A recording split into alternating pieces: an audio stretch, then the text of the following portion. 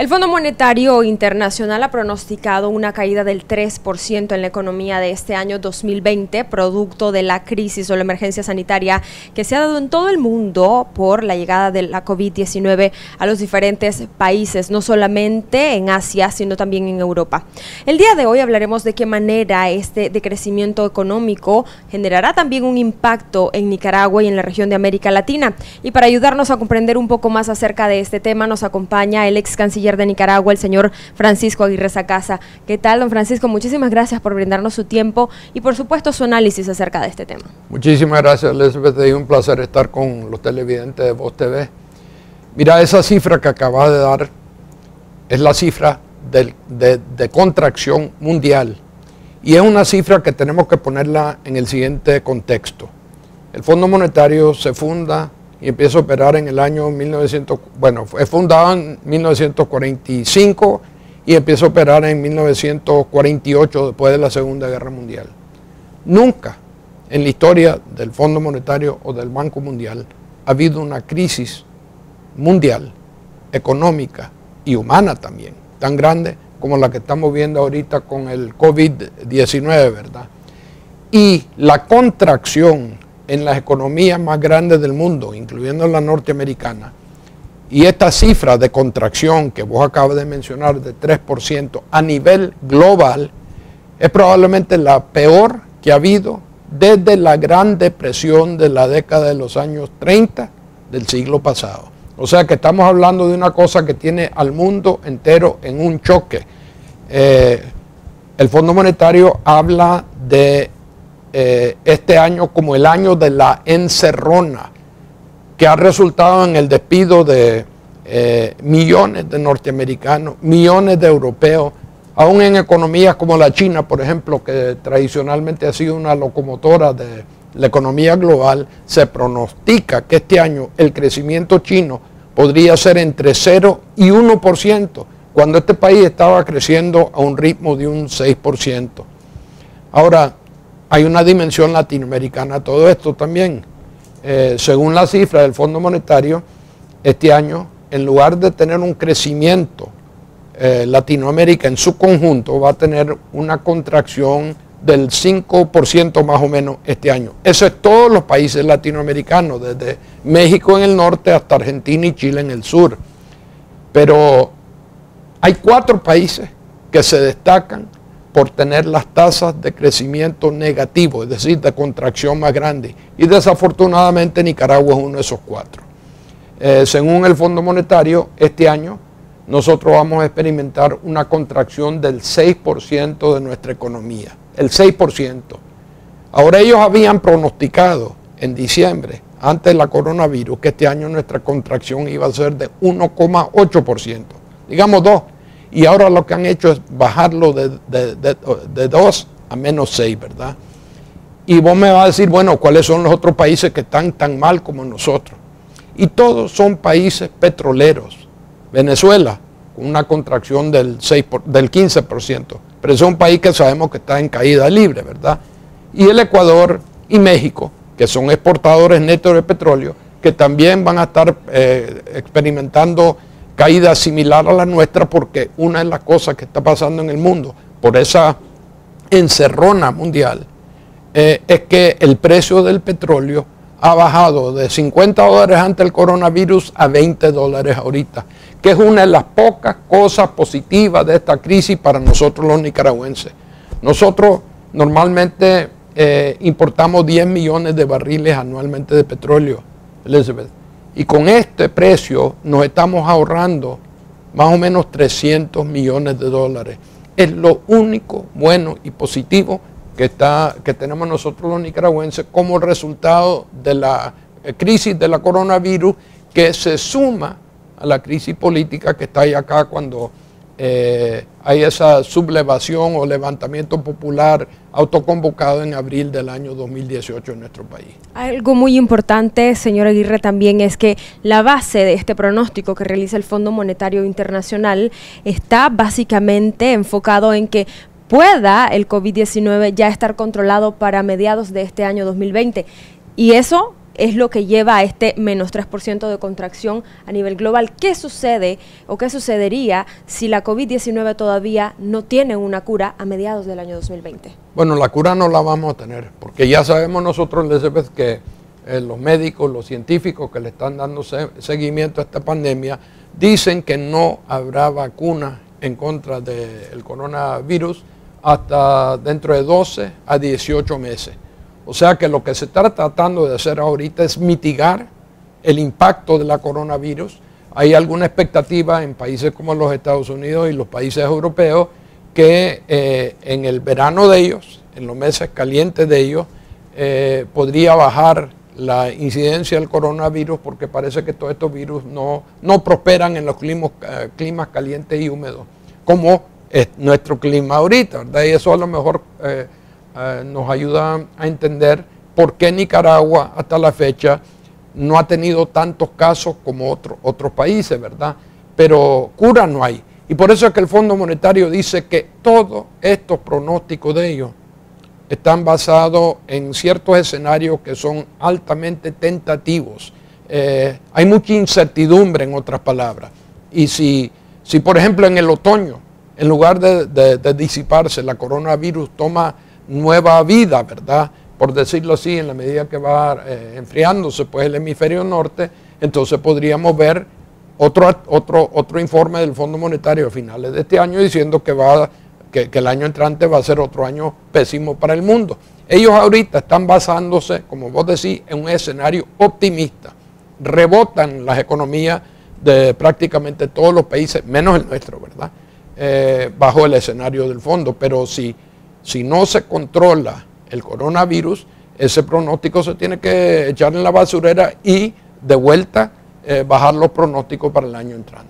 En el caso de Estados Unidos, que es uno de los principales socios comerciales de nuestro país, Nicaragua vive en gran parte de lo que exporta a Estados Unidos. ¿Qué sucede cuando la economía de esta potencia mundial también está siendo altamente conmovida por el tema de la COVID-19? Se está comparando incluso, como usted ya mencionaba, a la gran recesión o el panorama económico de 1930 y también a lo sucedido en 2008 con la caída o la quiebra de uno de los bancos más importantes de Norteamérica. Bueno, ya es mucho más importante, mucho más importante que lo que, lo que pasó en 2008 y 2009, cuando el sistema financiero norteamericano esencialmente corre el riesgo de desplomarse totalmente por préstamos malos que ellos hicieron. O sea que la comparación de esta es la gran depresión de, los años 30 del, siglo pasado. Ahora, ¿qué pasa si eh, esta situación no se logra controlar? Pues, eh, ¿y qué significa aún si se lograra a, controlar. Nuestro socio comercial más importante, Elizabeth, es los Estados Unidos. Nuestras exportaciones en los Estados Unidos, sobre todo de productos de maquila, de lo que nosotros llamamos zona franca, son crucial para el empleo de 130 mil personas. En la medida que las tiendas norteamericanas están cerradas o trabajando a mitad de vapor por el temor de los norteamericanos de ir a las tiendas, ¿verdad? De salirse de su casa, entonces nosotros vamos a ser perjudicados. Y ya estamos siendo perjudicados. Por la primera vez desde que aquí se lanza en serio eh, la zona franca de Nicaragua, estamos viendo que zonas francas en diferentes partes del país están viendo caer sus, eh, sus demandas de, los Estados Unidos, sus órdenes pues, de, de venta a los Estados Unidos y en diversos puntos de nuestro país se están cerrando zonas francas. No sé cuántos son los empleos que hasta la fecha se han perdido permanentemente o temporalmente, pero anda por el orden de 20 o 30 mil, que eh, eh, es muy, muy negativo, porque si esta tendencia continúa, nosotros podríamos perder una de las industrias que más empleo le da a nuestro país, ¿verdad? Ahora, eh, hay otra cosa que me preocupa con la zona franca. Yo las conozco. Allí son como los buses de Nicaragua, en tiempos normales, ¿verdad? Van eh, llenos de gente. Pues la zona franca en nuestro país son como unas latas de sardinas, donde hay una gran cantidad de sardinas en una latita, ¿verdad? ¿Y qué pasa si llegan 5 o 10 personas de repente con coronavirus a uno de esos lugares y empieza a contaminar a los otros empleados que están allí? Ahí podríamos darnos un susto muy, muy grande eh, que me lleva a otro punto, y es la inquietud que existe en el mundo con lo que podríamos llamar la indiferencia del gobierno de Nicaragua a la coronavirus en nuestro país. Eh, aquí ha habido crítica de la señora Etienne, que es la directora de la Panamericana de Salud, por la manera en que eh, el presidente Ortega, por ejemplo, no ha salido él personalmente a liderar la campaña en contra de la coronavirus. Eh, hay preocupación por el hecho de que no se están siguiendo los protocolos para luchar contra el coronavirus que, que se están siguiendo en los países desarrollados y los que están en vía de desarrollo, incluyendo todos nuestros vecinos latinoamericanos. Eh, aquí, por ejemplo, no se cerraron las escuelas públicas.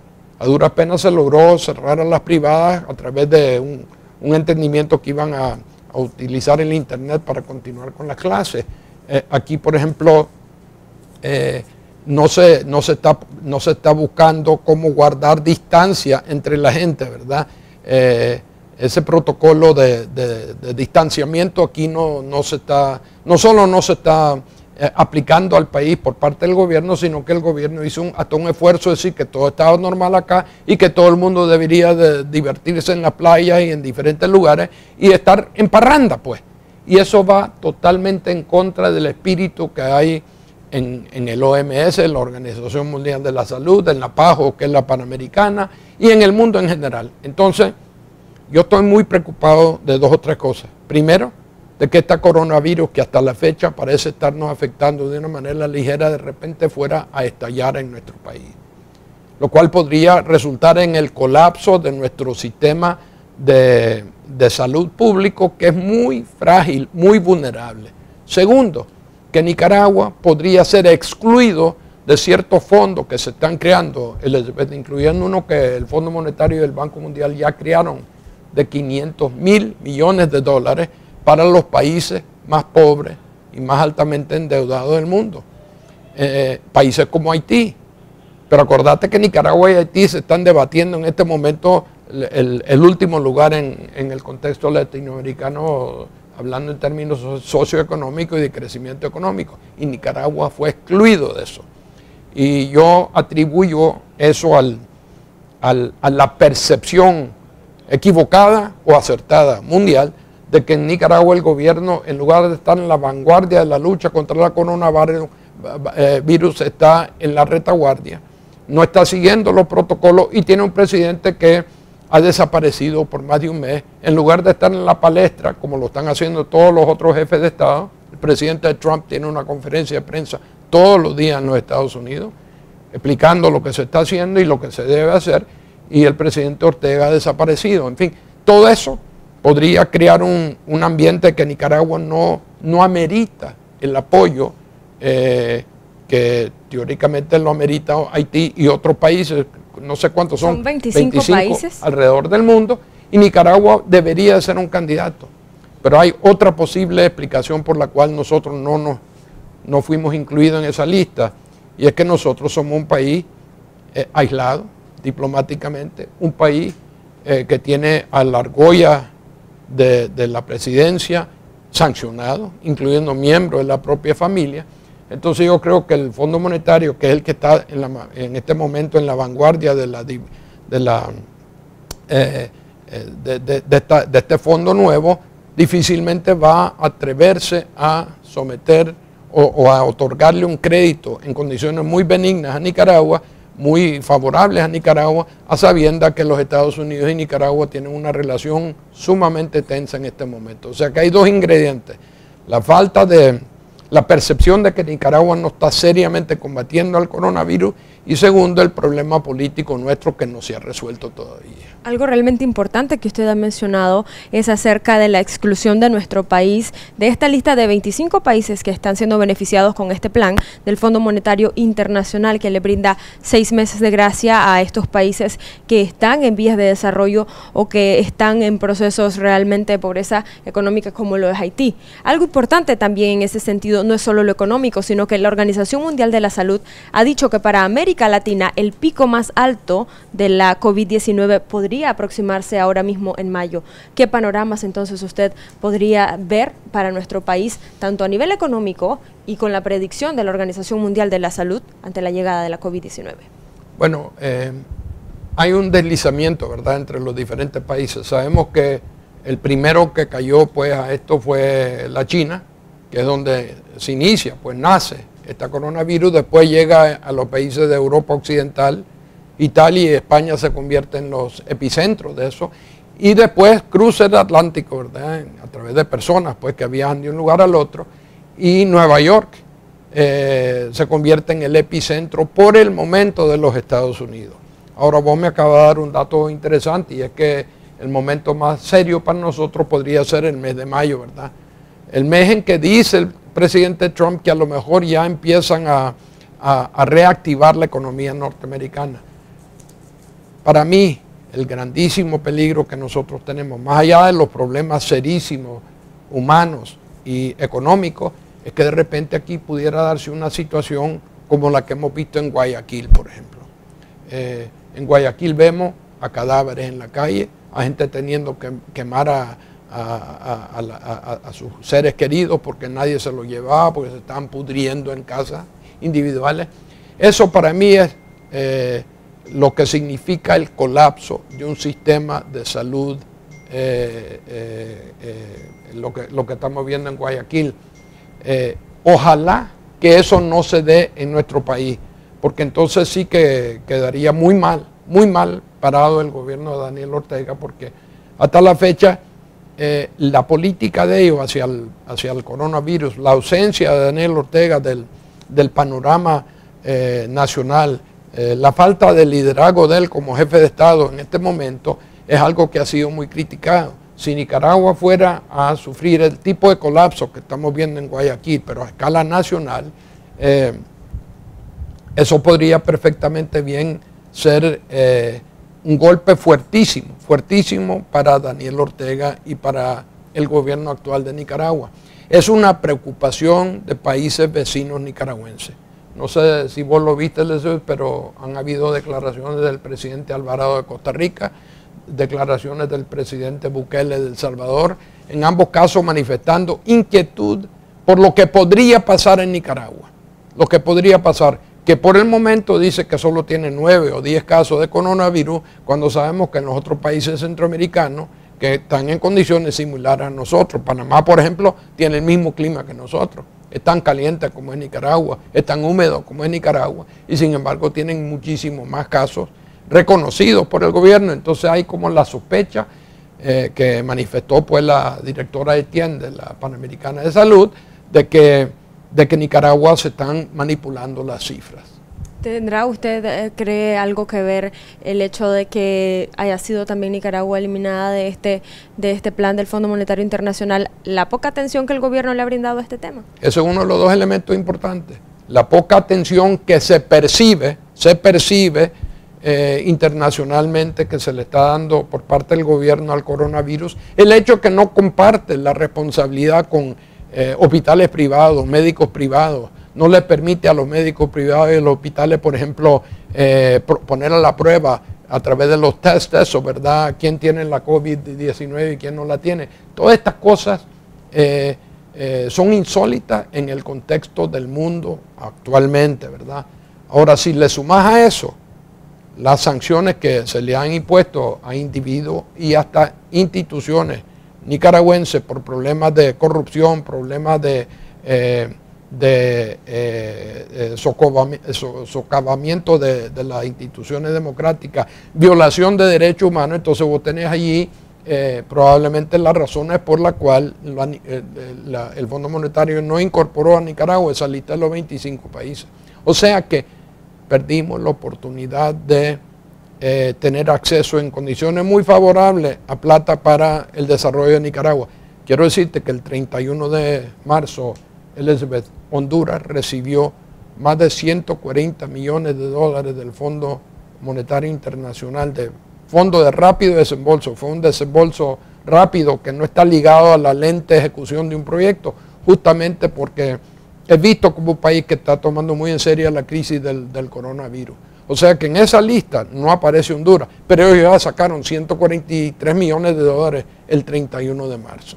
Esperemos que esto mejore para Nicaragua. Señora Aguirre, quiero agradecerle por habernos brindado su tiempo y su conocimiento para que la gente de nuestro país pueda comprender un poco más lo que está pasando a nivel económico en el mundo y cómo puede repercutir en nuestro país. Muchas gracias a ti, Elizabeth. De esta manera nosotros volvemos a estudio. Gracias por estar pendiente de TV, el canal del orgullo nicaragüense.